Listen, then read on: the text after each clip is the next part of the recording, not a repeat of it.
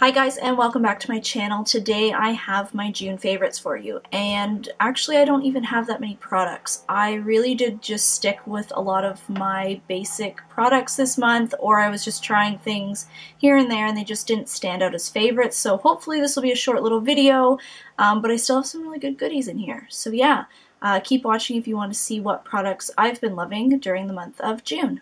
Okay, so first up I have a product that I actually received at Gen Beauty back in May, but it's only been the last few weeks. I actually brought it out, put it on my vanity, and said, okay, I need to start using some of these new products that have come into my life, and it is the Physicians Formula Super BB Insta Ready Bronzer.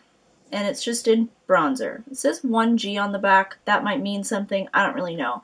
Um, but there's basically, there are three or four shades of bronze in here. There's like a dark, a yellow, a, like a lighter one, and more of like a mixture of them all. I actually swirl my brush in the entire thing and then put that on my cheekbones and around my hairline. I actually use my Real Techniques blush brush. I found that that works the best out of any brush that I've tried out for this bronzer. If you are fair, and you struggle with finding a good bronzer that's not too intense for you, this one is definitely a great option.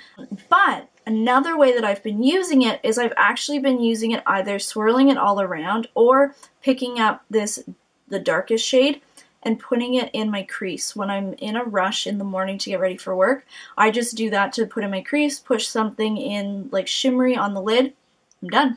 So it's actually a multi-purpose product, which I really enjoy. Um, but yeah, if you're very fair, definitely give this bronzer a try from Physicians Formula at the drugstore.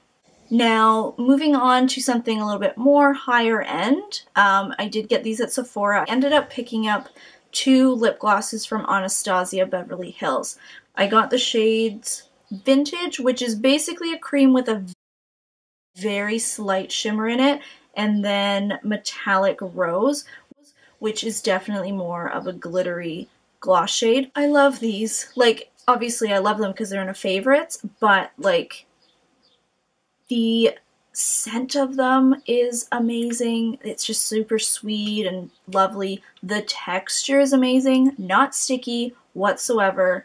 Um, I just, I love the way that they feel on the lips. They don't separate. They last a relatively long time. And I'm sorry, look at the pigmentation. This is insane for a gloss. Like, you, it's basically a liquid lipstick that's just really shiny. Um, but yeah, they're not sticky at all.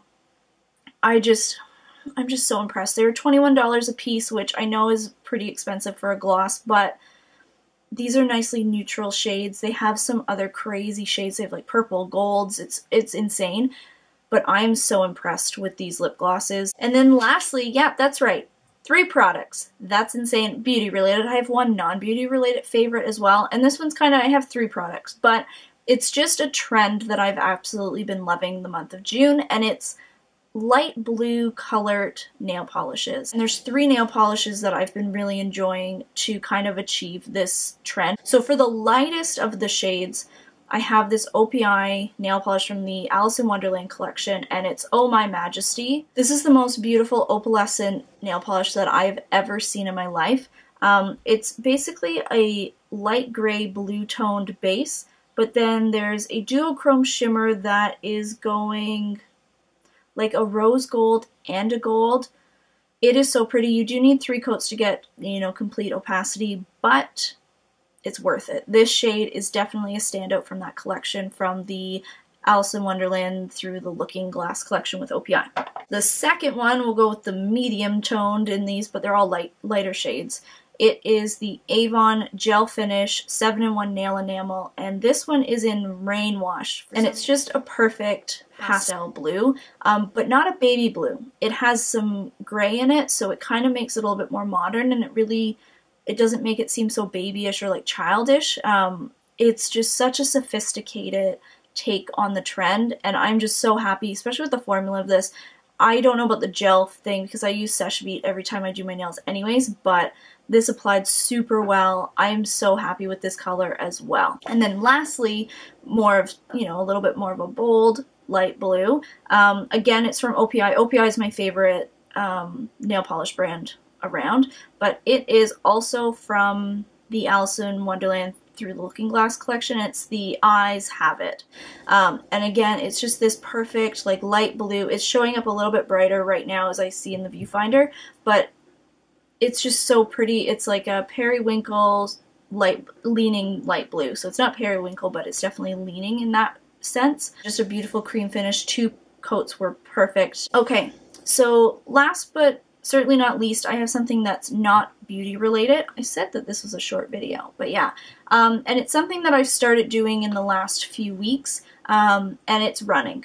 I started running again. I ran, I used to run a few years ago. I was training for a 5K, and then I kind of just gave it up. I don't know why I stopped. I should have just kept going because I do really enjoy running.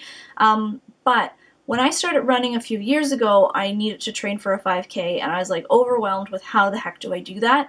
And again, this time around, I want to do it more for a health benefit, not a 5K.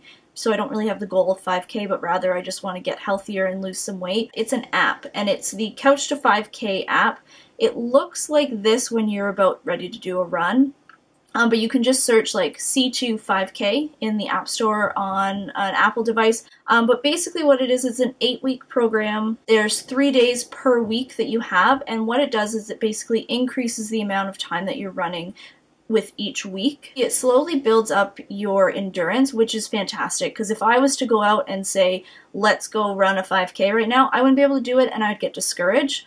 So this app really helps out with that. If you feel like it's a little bit intimidating, you could start with this and yeah, and if you want to, you can always repeat a run if you feel like you're not ready to, you know, get to that next level or the next week of runs. They also have a 10k one, but let's be serious. Let's start with the 5k and then I'll maybe move to the 10k. So yeah, so that those were my favorites this month. There really wasn't that many. July is going to be a fantastic month. I have to say, it's my birthday month. Um, so, of course, I am a little bit biased, but July is the best month of the year. Um, let's see what else is happening. Pride's happening. Um, let's see what else. I have some birthday parties. I have my birthday party. And I'm going to Vegas and Palm Springs. So that's how I'm going to be celebrating my 30th birthday, Dirty 30, in Vegas with one of my friends, Celia. Um, we're doing Vegas, and then I'm driving through the desert to Palm Springs by myself, just as kind of like a little self journey type thing, and just to relax and take a little bit of break from work. Um, but yeah, I highly suggest that you connect with me on social media Instagram, Facebook, Snapchat, and Twitter because I will be posting up a storm, especially on Snapchat when I am away during my trip, and you will not want to miss the antics that me and Celia get into because they should be pretty fun. Yeah, I hope you guys have an amazing rest of the day, and I hope you have an even more amazing month of July, although I can't say that your July is going to be mine. Mine's going to be pretty awesome. Okay, guys, have a great day. Bye!